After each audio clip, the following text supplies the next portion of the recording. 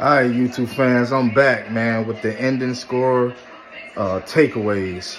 So the game just ended, but I just want to get straight to it. So I knew that Kentucky didn't have what it takes to win. Now, could have could could they have won this game? Yes, they could have.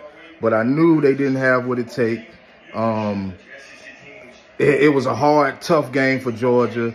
A lot of guys I don't feel like came to play defense and offense. I'm gonna just call it what it is.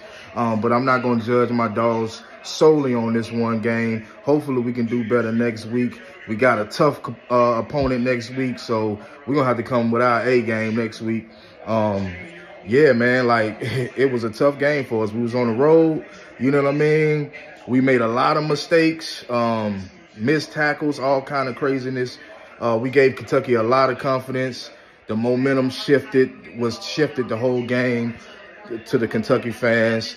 Uh, man, we just got to do better, man. I don't know what was going on with Carson. Really, you know what? I, you know what? I thought about it while I was watching the game when I come with my ending uh, takeaways.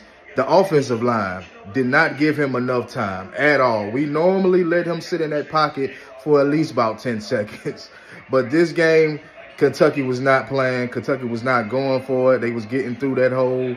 They was getting through those O-lines players. But I, like I say, man, I, I, have been frustrated this whole game. Like, what is going on? We do not look like the number one team. We probably will drop from number one. You know what I mean? Um, if we drop, I feel like that's cool. I feel like, you know, I'm I'm comfortable with it because I feel as if um, we deserve to drop. I feel as if we don't deserve to be number one. And I'm to just be honest with y'all because I'm one of those honest uh, people when covering a team. I'm not going to sit here and just make it seem, make all these excuses for Georgia. No, Georgia played horribly tonight.